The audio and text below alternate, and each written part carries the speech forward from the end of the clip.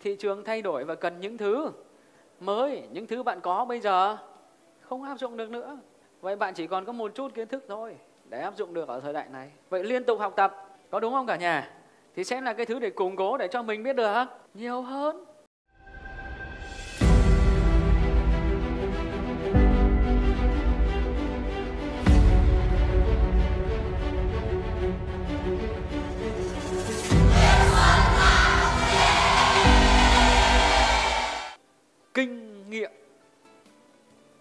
Kiến thức của người khác.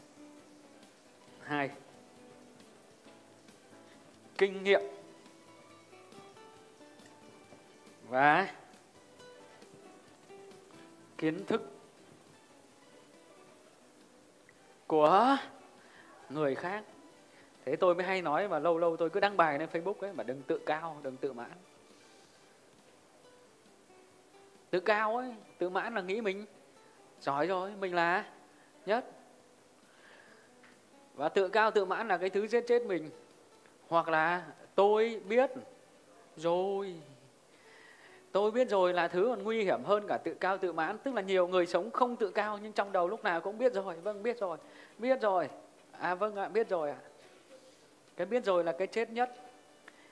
Bởi vì người ta chuẩn bị chia sẻ cho cái gì mới, mình lại biết rồi, thì người ta chẳng chia sẻ nữa hiểu không? Cứ biết rồi biết rồi. Học tập thì không có đàng hoàng. Tranh mạng biết rồi mà. Học rồi mà. Tranh mạng rồi trong cái lớp đấy có cái gì đó mới là lúc đấy mình lại không ngồi nghe, không học, đang buồn ngủ. Học làm sao? Và vì mình biết rồi, cho nên là mình chỉ biết được từng đấy thôi. Cái đầu của mình sẽ luôn luôn chỉ có thứ đó. Ví dụ như bạn có 100 thì bạn mãi có 100 và cái 100 đấy theo thời gian nó sẽ thế nào ạ? Nó sẽ ít đi. Bởi vì sao? Thị trường thay đổi và cần những thứ mới, những thứ bạn có bây giờ không áp dụng được nữa. Vậy bạn chỉ còn có một chút kiến thức thôi để áp dụng được ở thời đại này. Vậy liên tục học tập có đúng không cả nhà? Thì sẽ là cái thứ để củng cố để cho mình biết được nhiều hơn. Không phải là người trẻ tuổi hơn mình mà mình không học. Có học không cả nhà?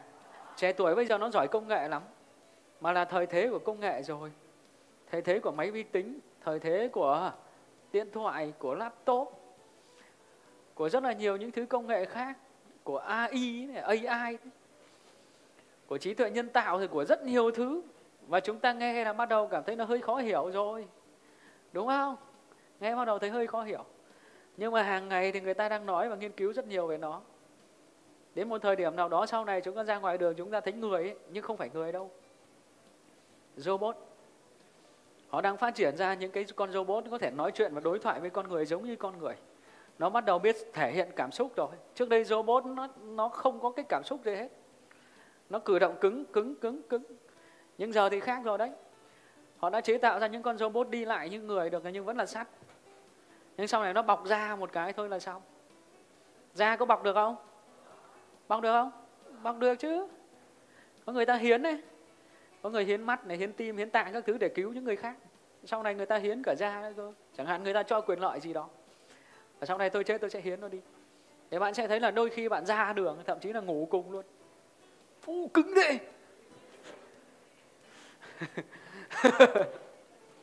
Mới không phải người nữa về sau nó sẽ là như vậy đấy. Cái gì trong phim viễn tưởng ấy con người nghĩ được ra thì con người đang làm cho nó trở thành những chiếc xe ô tô bay trên trời, có chưa? Có rồi. Những chiếc xe máy bay trên trời, có chưa? Có rồi. Có hết rồi. Những bộ áo giáp bay, có luôn. Có một bộ áo giáp này nó đang bán là cứ khoảng 14 tỷ. Và người ta đang áp dụng cho cái việc là cứu hộ, cứu nạn. Đeo trên lưng ấy, đeo trên hai tay. Phóng lên như siêu nhân. Và chưa áp dụng phổ biến cho cá nhân như chúng ta, nhưng cho các hoạt động cứu hộ rồi thế bạn sẽ thấy rằng dần dần mọi thứ nó đều rất là mới lạ, sau này mình ra đường mình cứ như kiểu bò đội nón ấy, ngơ ngơ ngác ngác, không hiểu cái gì hết. Thế mình mới thấy đấy, không học, đúng không ạ? Là đã thua rồi, mà xã hội thay đổi nhanh chóng thì mình còn thua nặng hơn nữa. Thế cho nên phải phải, to hơn phải, hơn nữa phải. Rồi hai vai là phải học. Mà để học tốt thì ngồi thẳng cái lưng lên. Cỡ nào mà học được. Cái gì mỏi ngồi đâu mỏi hả? Ngồi không không không chịu được. Thế lên đây mà đứng này, đổi tôi xuống tôi ngồi cho, tôi ngồi giỏi lắm luôn đấy. Bạn nhìn thấy là tôi có được ngồi lúc nào không? Đấy đó, nếu bây giờ chương trình dạy 5 ngày thì tôi ngồi ở đâu? Ngồi ở đâu? Đứng ở đây chứ dưới nào? Có phải vậy không? 5 ngày sẽ từ sáng đến tối từ sáng đến đêm luôn. Thế những cái thứ cơ bản mình cứ đổ lỗi là mệt. Ngồi còn mệt. Có các bạn biết là kinh doanh spa chuyên nghiệp năm học ở Đà Nẵng cách đây 2 năm. Học trong lớp có người ngất.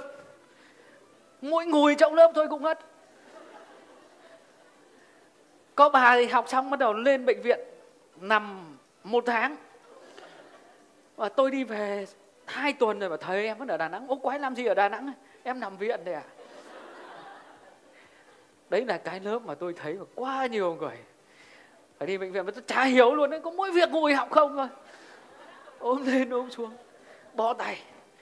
Và thầy đứng, cái lớp đấy là lớp mà tôi phải đứng phải nói rất nhiều. Các bạn, từ sáng đến tối 4 ngày liền ôi, tôi chả hiểu luôn. Cái việc đấy không làm được nữa, làm được việc gì? Ở nhà chắc là, đúng không? Các anh chồng cưng chiều quá. Chắc là các chị là nằm suốt ngày. Đúng chứ khó rồi. Nằm rồi thay đổi tư thế liên tục chứ ngồi không chịu được.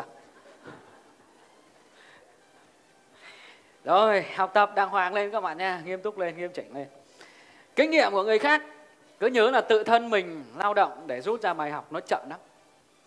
Để cho nên cách thông minh nhất đó là đó là đi học người khác đi. Người trẻ bây giờ nó cũng giỏi cũng đi học người trẻ. Người già có học không? Người già thì nhiều kinh nghiệm nhiều bài học cuộc sống đi học. Nói chung là ai cũng học đâu cũng học. Đấy, cái nào mà cần phải bỏ tiền ra học thì lại phải nghiên cứu. Còn không ấy thì học hết cái gì tốt được cho mình thì mình áp dụng còn không thì thôi bỏ đi có gì đâu. Nhớ các bạn nha. Một là học thì phải học ở khắp mọi nơi học ở trong lớp này học ở ngoài đời này. Ra đường thấy thằng đằng trước ấy nó có công an thì mình phải đi cho nó đàng hoàng đi cẩn thận. Đấy là học chưa? Thấy nó lao vào cái ổ gà ấy, mình cũng lao ổ gà là chết mình rồi. Đầu là đầu quá cứng đúng không ạ? Đấy là thuộc dạng là hết thuốc chữa ít nhất là phải biết là có ổ gà thì phải tránh ra, đúng không ạ? Thế đấy là học đấy. Đấy là những cái thứ mình gọi là ví dụ thôi.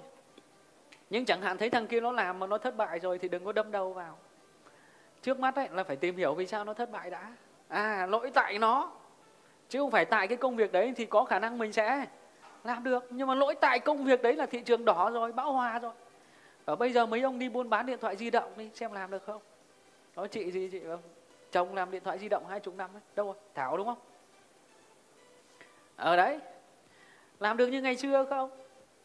Chắc chắn là không bởi cạnh nhà nó có đến ba cái điện thoại ở ờ, thế giới di động. Thế ai nó đến nhà mình nữa? Đấy, còn mấy cái ông khách cổ lỗ sĩ từ ngày xưa ngày xưa. Phải vậy không cả nhà? Rồi đi bán laptop đi đi bán máy tính đi. Bạn chơi làm sao được với điện máy xanh? FPT shop rồi viễn thông A. Có không? Có những thương hiệu đấy trên địa phương của bạn không? Viễn thông A bây giờ thấy ít rồi. Nhưng điện máy xanh là có thế giới di động là có FPT shop là có. Đấy mấy cái ông cứ lao vào làm. Làm làm sao được? Đấy là thị trường đỏ rồi và rất nhiều người ấy, đã thất bại vì việc đấy. Mấy ông lên tiktok dạy nghề sửa chữa điện thoại bán điện thoại rồi nhiều thằng lao đầu vào đấy học. Để cuối cùng đâm đầu vào. Tường. Đâm đầu vào tường hết đam mê, thích thú thú vị. Cuối cùng là đâm hết đầu vào tường. Chúng ta phải thông minh. Làm những thứ mà nó đúng thế nào cả nhà? Đúng thời đại. Làm được. Ok chưa? Không lao đầu vào tường. Đoạn 7 là kinh nghiệm của người khác. Không tự trải nghiệm. Viết xuống. Không tự trải nghiệm. Không tự trải nghiệm. Không tự trải nghiệm cách thông minh nhất là đi học kinh nghiệm từ người khác. Tất nhiên là từ ai là bạn, còn phải thế nào ạ? Nghiên cứu. Nhưng phải đi học. Còn không học thì chắc chắn luôn là quá thua. Đúng không ạ? Thua thiệt luôn. Và bạn nhìn thấy là nhiều người người ta càng ngày càng thành công nhanh. Bởi vì đi học đấy. Có những người bảo không học hỏi là thành công đến đâu rồi? Không học. Kinh nghiệm của người khác. Đấy, cho nên là bạn mình mà hỗ trợ được mình là học ngay. Thầy giỏi là đi tìm. Ngay lập tức. Ở sài gòn lao ra. Thầy ở sài gòn thì mình ở ngoài bắc lao vào. Đúng không ạ? Lớp ở đâu không quan trọng nhiều người tôi tổ chức thầy ơi sao tổ chức ở đây xa quá? Em không đi được. Ờ à, không đi được thì ở nhà. Người khác nó vẫn đi bình thường. Có phải không? Bạn không đi đấy là quyền lợi của bạn thôi còn việc tôi thì tôi vẫn dạy người ta học thì người ta vẫn học. Thế thôi cứ ngồi lý do em vừa đẻ ờ vừa đẻ thì ngồi nhà mà cho con bú. Đây người vừa đẻ xong vác con đi học đấy. Có những người vừa đẻ xong được tháng vác con đi học. Đấy, bạn phải biết là ngồi trong lớp ôm con học. Vấn đề là do chúng ta thôi chả do cái gì hết. Con cái là động lực không phải rào cản. Đồng ý không cả nhà? Em có bầu. Bầu là động lực. Không phải rào cản. Chồng em cấm. Chồng cấm là động lực, không phải rào cản. Có đúng động lực không? Phải làm để cho nó hết cấm đi chứ để để cho ủng hộ chứ.